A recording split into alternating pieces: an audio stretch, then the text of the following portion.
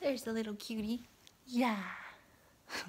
Janette with Kitty Charm School with the lovely little Miss Izzy.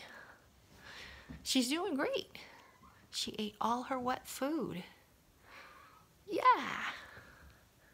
And her and a lot of her dry too. So good. Everything's freshened up.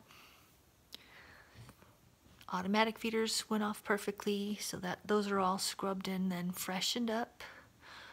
Litter box is clean. No poops. Three P's.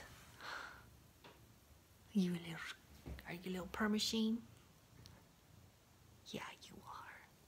But yeah, everything's safe and secure here.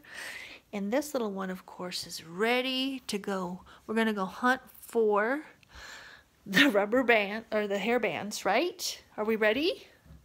Let's go find the hair bands and we're gonna play. Yeah. Okay, you heard it. Time to go. Kitty mail.